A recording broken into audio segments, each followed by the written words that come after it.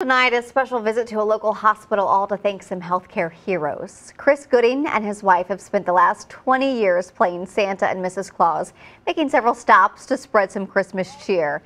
This year, they headed to thank the medical workers who helped Chris beat cancer. We caught up with them as they brought treats to the workers in the oncology unit at SSM Health St. Louis University Hospital.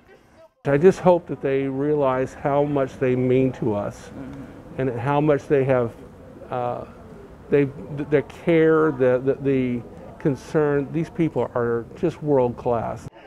Chris told us that the chemo did claim his beard, but he's growing it back now, and he hopes it comes back better than ever for next year's Christmas visits. What a nice way to say thank you.